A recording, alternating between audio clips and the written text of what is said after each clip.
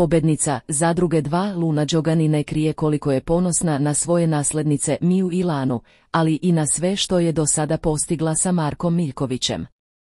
Luna je veoma aktivna na društvenim mrežama, a sada je objavila emotivni snimak na svom Instagram profilu koji je raznežio sve one koji su ga pogledali.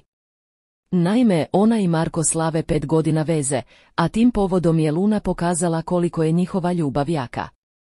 Đoganijeva je snimila svoje šake, šake supruga Marka i Čerkica, a u opisu je napisala. Naših pet godina.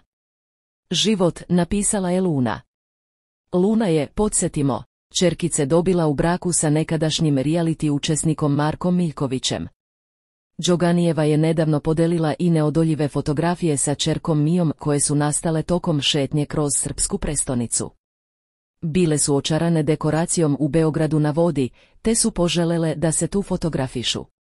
Mala Mija nosila je luninu torbu, a sve vreme su se grlile. Pitam se da li dajem sve od sebe, ti si sve i ja sam blagoslovena. Želim ti, moja ljubavi, da budeš jaka, pisalo je tada u opisu lunine objave na engleskom jeziku.